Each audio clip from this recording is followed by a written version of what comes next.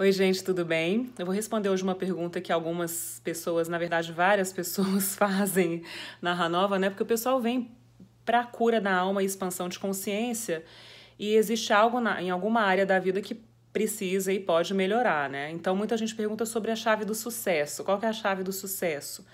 Sucesso profissional e sucesso financeiro. E isso é muito contraintuitivo, não é muito óbvio para muita gente, porque não é talento.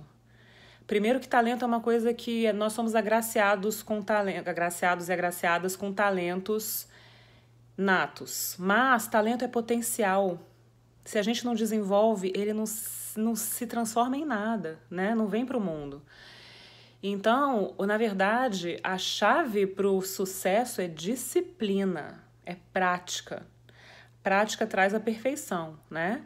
Então não adianta só teoria tem que estar tá no mundo praticando e fazendo, porque senão não vai haver sucesso na vida. Então tem muita gente que nem é tão talentosa assim, mas é disciplinada, é dedicada e vai longe. Agora, tem pessoas talentosíssimas que entraram dez vezes na fila do talento e nasceram super agraciadas e não fazem absolutamente nada para manifestar esse talento. Então, essas pessoas não vão ter sucesso, porque talento sozinho é potencial. Não adianta também só ficar estudando e ler e ficar na teoria. Se você não for para o mundo, para a prática, a teoria sozinha, por si só, é potencial não manifestado também. Então, a chave para o sucesso financeiro e profissional é prática. Quem se dedica vai longe. A vida responde, a vida traz de volta.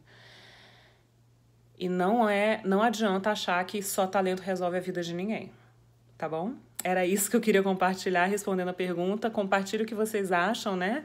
Em relação a essa diferença entre talento barra potencial e sucesso barra prática, manifestação e disciplina, principalmente. A gente vai se falando. Um beijo enorme.